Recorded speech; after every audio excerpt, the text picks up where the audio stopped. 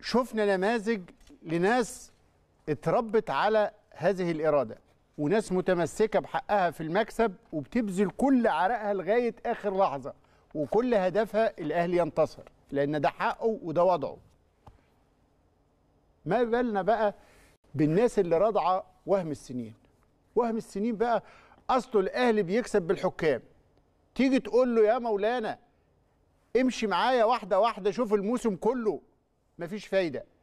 شوف مين كان رئيس اتحاد الكورة ده أكبر زملكاوي بيسلم الأهلي درع الدوري مرتين. ده وزير الشباب والرياضة في كل مرة الراجل زملكاوي. لا هو الأهلي. إلى أن نلاقي المهندس يحيى الكومي رئيس النادي الإسماعيلي وده بقى وهم السنين. اصله الفلوس والأهلي بياخد فلوس أكتر.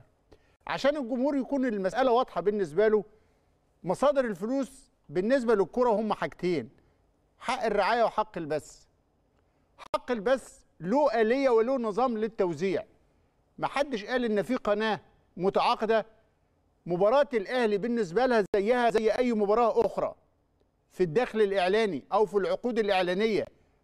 خلوا أي قناة مسؤولة تقدر تقول لكم إيه الفروق في الدخل الإعلاني بالنسبة لهم؟ لمباراة للأهلي عن بقية المباريات. والكابتن مدحت شلبي قال في ده كتير قوي وكل الناس بتعترف بده لكن بتصدر للناس كلام اصله الأهلي بياخد فلوس أكتر. طب ما هو ده وضعه وده حجمه ودي شعبيته اللي بتجيب ده. الجزء الثاني بره البث يتعلق بحقوق الرعاية. لما الأهلي حقوق الرعاية بتاعته وحقوق الرعاية في المجمل هي انعكاس مباشر لحجم الشعبية والتأثير في الشارع. دي حقوق إعلانية. أنا كمعلن لو عندي شركة هتعاقد مع النادي الأهلي لأنه فرص تعرض الإعلان بتاعي لأكبر عدد من الشعبية يختلف عن أي نادي آخر.